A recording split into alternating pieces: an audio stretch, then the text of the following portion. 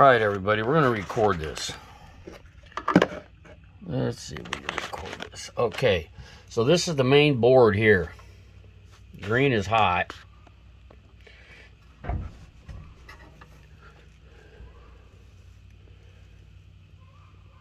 From that board to this switch, it's hot. It's hot. It's hot. It's hot. We got power going to every one of these. We've got power. But no power coming out. So that's telling me what? All these breakers are bad?